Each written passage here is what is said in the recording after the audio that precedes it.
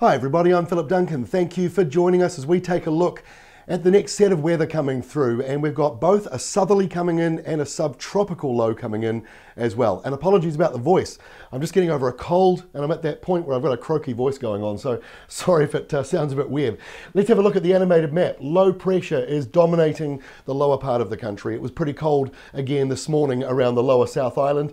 The next day or so remains cold as a little surge of southerly air comes in. You can actually see here it's a bit more westerly across Thursday, but actually as we get into Friday, it's a more southerly wind flow there. And up in the north, you can't see it yet, but we've got a subtropical low on the way for the North Island but it's likely to be just out at sea and probably won't cause too many issues. So this is how we look for Friday. Here is that southerly coming into the south, showers, and the temperatures do drop as you move further north into Canterbury, into Marlborough, and then later into Cook Strait and the Wellington area. So it's not a major system, just a few showers and southerlies coming in, maybe a little period of rain. In the north, it starts off dry, but a bit cloudy. And as the day goes on, the clouds thicken up and this low drops closer and closer. There'll be some showers and maybe a little bit of patchy rain or drizzle coming in for the far north and northern parts of Northland, but most other areas will be dry, although a couple of showers or drizzle patches are also possible along the eastern side of the North Island. Then we get to Saturday. Now we'll start with the South Island because it's nice and easy. Mostly dry. Maybe a couple of drizzle patches around Canterbury first thing.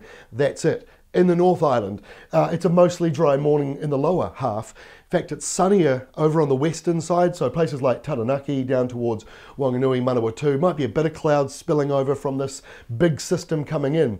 Now, the rain is worst in a subtropical low. It is worst in what we call the southeastern quadrant. That is this area out here.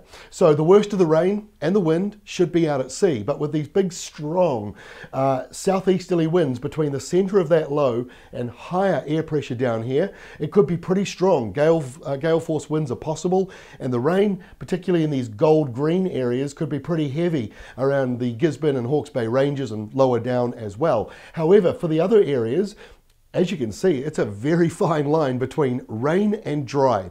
And usually with a southeasterly, with all the uh, energy being out at sea, you tend to find it operates a little bit like a reverse nor'wester, like you see in the South Island. So you'll end up with high cloud, maybe a few spits of rain, bit of patchy stuff coming in, but mostly dry over on the western side, which place, places like Auckland will be a little bit borderline. When you zoom in, you can sort of see exactly what I'm talking about the, this is patchy light stuff in the blue.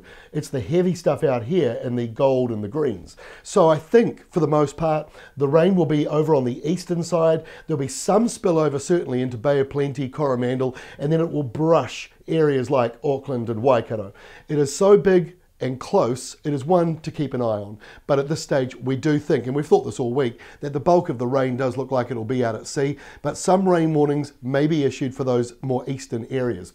Now, as you can see by Sunday, the tracking of this low, it's going from the northwest down to the southeast. So it is not directly coming into New Zealand, even though it looks a lot like that on some of the weather maps. It does look like it's going to slide to the east. So therefore on Sunday, southerlies in many areas with the showers most likely around that eastern side of the North Island. And when we get to Monday next week, the high from Australia, the big beautiful high, it is coming in to the South Island and it'll be gradually coming into the north. Most of next week looks dominated by high pressure. And that is all from me.